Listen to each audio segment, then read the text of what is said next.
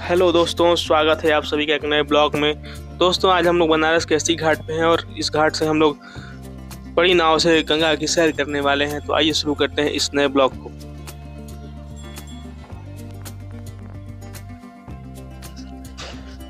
तो दोस्तों, ये रही हमारी नाव। इसी नाव से हम लोग गंगा की सैर करने वाले हैं।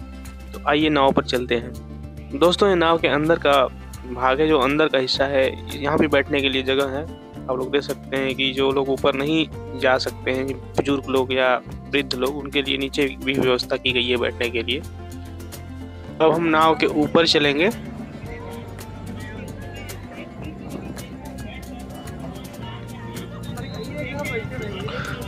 तो दोस्तों, हम लोग नाव के ऊपर आ चुके हैं। हम लोग, आप देख सकते हैं कि कितना स्पेस है इस नाव में। कम से कम नब्बे लोग आराम से आ सकते हैं इस ऊपर वाले भाग में नाव के। और ये बच्चे कुछ फूल बेच रहे हैं कि आप लोग खरीद लीजिए।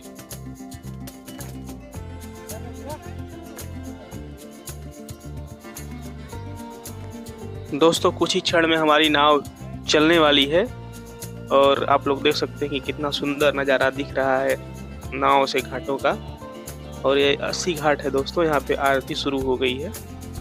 यहाँ पे अस्सी घाट की आरती होने लगी है और हम लोग भी नाव से दशाश्वमेध घाट की तरफ़ बढ़ेंगे।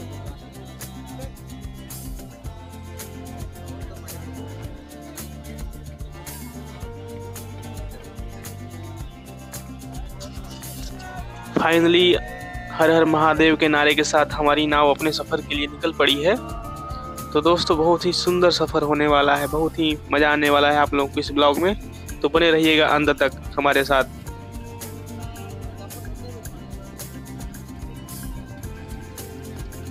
तो आप लोग देख सकते हैं कितना ही सुंदर और मनमोहक नज़ारा दिख रहा है दोस्तों। अगर आप लोग बनारस आए तो गंगा के घाटों का सैर ज़रूर करें, क्योंकि बिना इसके बनारस कुछ नहीं है। दोस्तों, मैं आप लोगों को बता दूँ कि बनारस मंदिरों एवं घाटों के लिए प्रसिद्ध है और ये दुनिया के सबसे प्राचीन शहरों में अपना स्थान रखता है। तो बनारस की भव्यता इसे और बढ़ जाती है।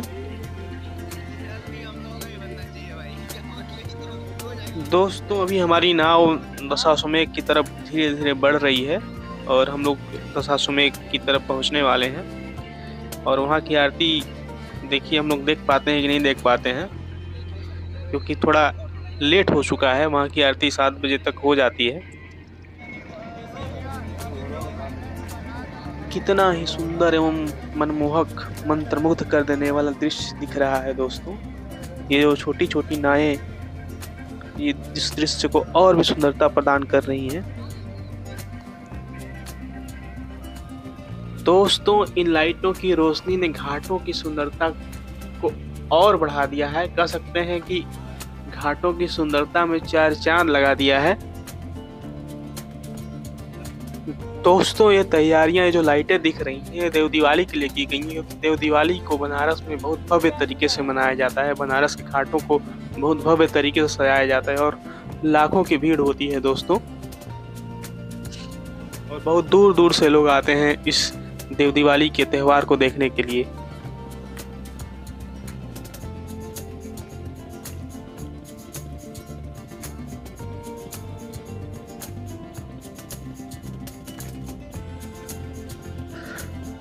तो दोस्तों, आप लोग देख सकते हैं कि यहाँ पर लाइट एंड साउंड शो की भी व्यवस्था की गई है।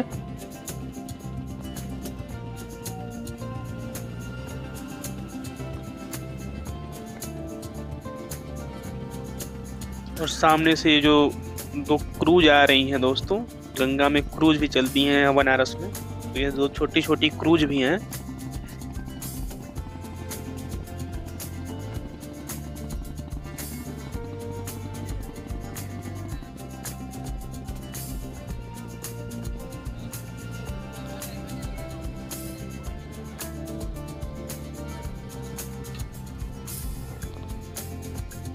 और ये पानी वाला जहाज़ है दोस्तों।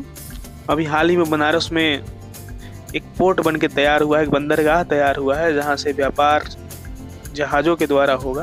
तो शायद उसी के लिए जहाज़ वहीं पोर्ट के लिए जा रही है।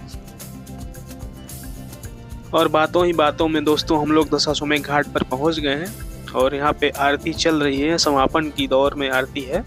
तो आप लोग देख सकते हैं कि जूम करके दिखाने की कोशिश करेंगे आपको कि ये आरती हो रही है और कितना भीड़ है दोस्तों इस आरती को देखने के लिए। ये सब नावें जो चल रही हैं, सब आरती देखने के लिए ही आए हुए हैं दोस्तों।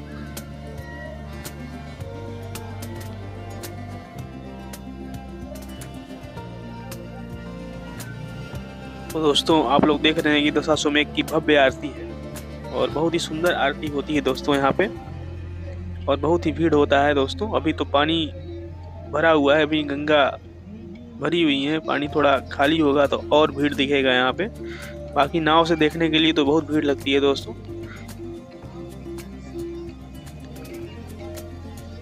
और दोस्तों, यहाँ पे नाव के द्वारा एडवर्टाइजमेंट भी होता है, प्रचार भी होता है, जैसा कि आप लोग देख रहे हैं, नाव वाले बोर्ड लगा लगा के घूम रहे हैं सब।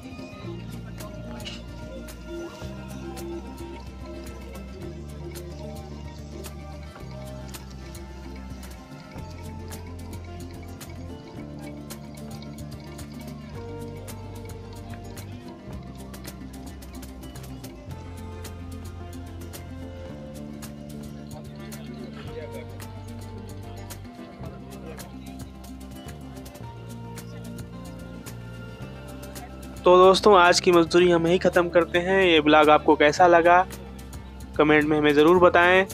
और दोस्तों, इस वीडियो का एक पार्ट और आने वाला है, जिसमें हम नाव के द्वारा करीब से घाटों को दिखाएँगे, घाटों का दर्शन कराएँगे। बाकी आप लोग मस्त रहें, घूमते रहें इंजॉय करते रहें। तब तक के लिए बाय बाय